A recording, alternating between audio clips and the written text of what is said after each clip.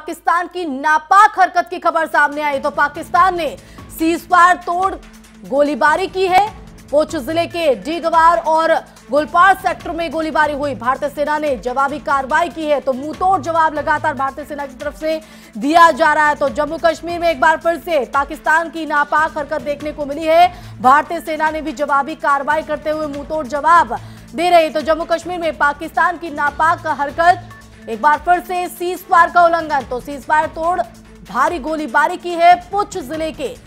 दिगवार और गुलपार सेक्टर में भारी गोलीबारी पाकिस्तान की तरफ़ से, जिसका भारतीय सेना मुँह तोड़ जवाब दे रही है। तो जम्मू कश्मीर से बड़ी खबर इस वक्त की आपको हम बता रहे हैं तो लगातार पाकिस्तान की जो नापाक हरकत है, वो सीमा पर जारी है और एक बार फिर से सीज फायर तोड़ भारी भारी गोलीबारी यहाँ पर पाकिस्तान की तरफ़ से पुंछ ज़िले के गुलपार में भारी गोलीबारी की गई है, जिसका भारतीय सेना ने जवाबी कार्रवाई करते हुए मुँह तोड़ जवाब दिया है।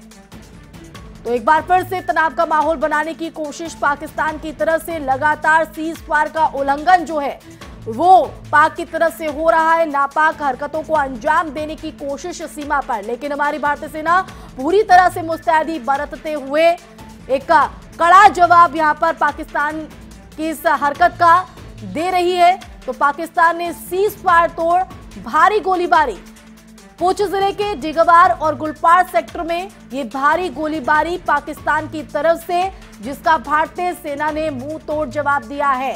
तो पुंछ ज़िले में इस सीजफायर का उल्लंघन करते हुए भारी गोलीबारी पाकिस्तान की तरफ़ से तो पाक की नापाक हरकत लगातार सीमा पर जारी है। तो भारतीय सेना पूरी मुस्तैदी बरतते हुए मुँह तोड़ जवाब तो लगातार पाकिस्तान की जो बौखलाहट है, वो साफ़ तौर पर नज़र आ रही है और सीमा पर तनाव बनाने की कोशिश में ये नापाक हरकतों को अंजाम पाकिस्तान की तरफ़ से दिया जा रहा है। तो ये जानकारी, तस्वीर आपको हम दिखा रहे हैं। तो भारतीय सेना ने जवाबी कार्रवाई करते हुए मुँह तोड़ जवाब। तो लगातार जिस तरह से नापाक हरकतों को अंजाम देने की फिराक में पाकिस्तान रहता है।